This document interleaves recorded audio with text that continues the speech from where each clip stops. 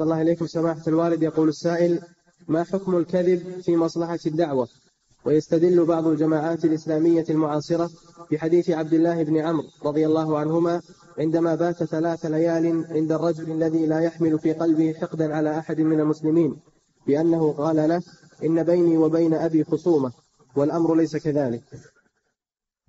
ابن عمر ما راح يدعو الرجل. الرجل رجل صالح وعابد. ما راح يدعوه راح يبي يقتدي به. ذهب إليه ليقتدي به هذا قصده. ما راح لأجل أن يدعوه. نعم. ولا يقال أن هذا فيه الكذب للدعوة. نعم.